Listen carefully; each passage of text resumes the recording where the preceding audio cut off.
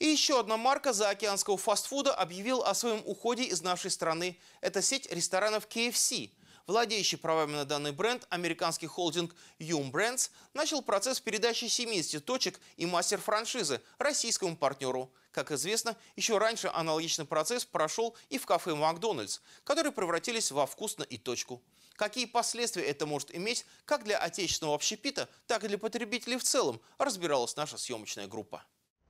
По всей стране скоро исчезнут вывески с названием на три буквы, где предлагают всевозможные блюда из курицы. Это сеть ресторанов американского бренда KFC. Его всероссийские точки скупает ижевская франчайзи-сеть Food Service, которая намерена даже вернуть памятное по нулевым годам название «Ростикс». Президент региональной ассоциации туризма Ирина Шереметкер считает, что это пойдет только на пользу.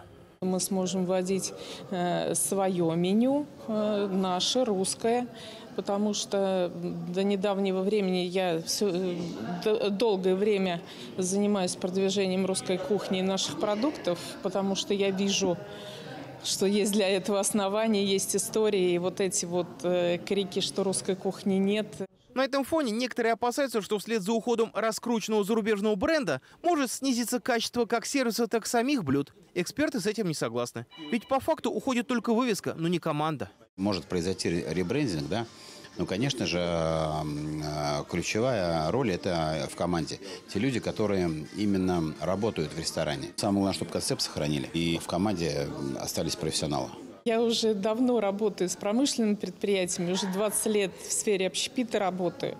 И э, мне говорят просто очевидцы, что у нас в наших э, объектах питания, в наших сетевых ресторанах гораздо чище, чем в этих ресторанах в той же самой Америке. И еще один повод для скепсиса – возможные изменения в меню. Дескать, вместе с зарубежными брендами уйдут и какие-то блюда, названия и рецептуры которых запатентованы. А значит, возможен отток клиентов, приходивших на конкретную вывеску, на конкретное название бургера. Совсем не факт, что это произойдет, отмечает Владимир Сергеев, приводя в пример тот же Макдональдс. Мы всегда замечали, что у них ротация блюд, появлялись новые блюда. Да?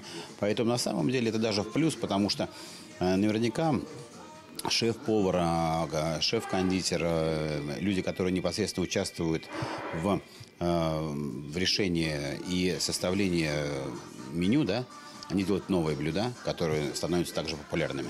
Таким образом, едва ли случится что-то катастрофическое после исхода западных брендов фастфуда. Это подтверждает и пример с сетью «Вкусная точка». Да и палитра кафе едва ли оскудеет. Просто она станет другой. Старым и новым отечественным сетям добавятся коллеги из других стран. Например, из Сербии и Турции, которые уже заявили об огромном интересе к русскому рынку.